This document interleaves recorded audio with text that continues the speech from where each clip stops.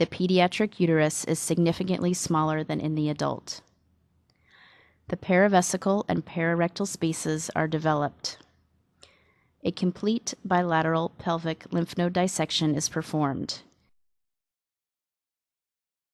Here, the ureter is clearly visible. This is the dissected obturator space. The uterine vessels are identified at their origin from the hypogastric vessels bilaterally. Here, a Babcock clamp elevates the obliterated umbilical, while a Kelly holds the transected round ligament. Once identified, the uterine arteries are divided and ligated.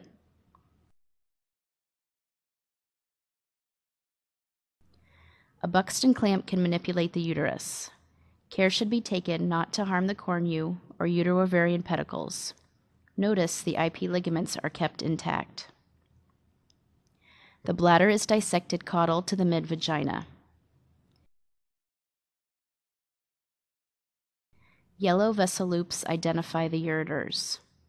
The parametria and paracolpos with uterine vessels are mobilized medially with the specimen as shown here. A complete ureterolysis is performed bilaterally, similar to a type 2 radical hysterectomy. The bladder is further dissected caudal to the mid vagina. A window is created in the broad ligament under the IP, which is in the surgeon's hand.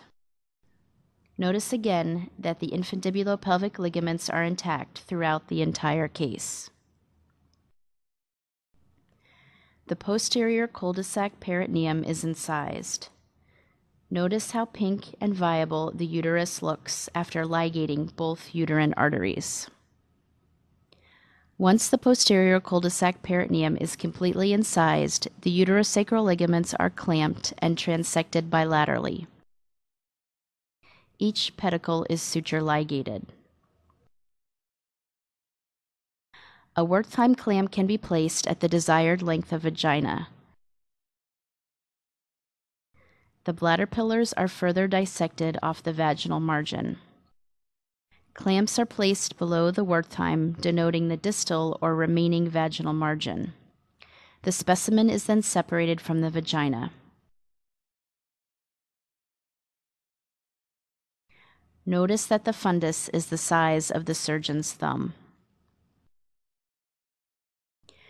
The uterine fundus with preserved attachments to the uterovarian ligaments is placed in the superior part of the pelvis.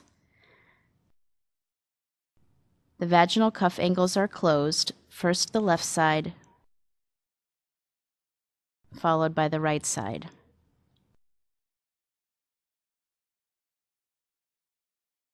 The trachelectomy specimen is prepared. A clamp stretches the parametria while the trachelectomy specimen is skeletonized with the bovie.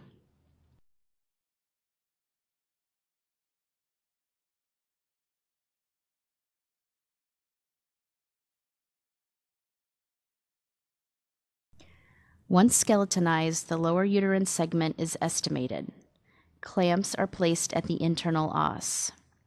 The parametria along the trachelectomy specimen is highlighted with outstretched clamps. These pedicles are each transected and suture ligated.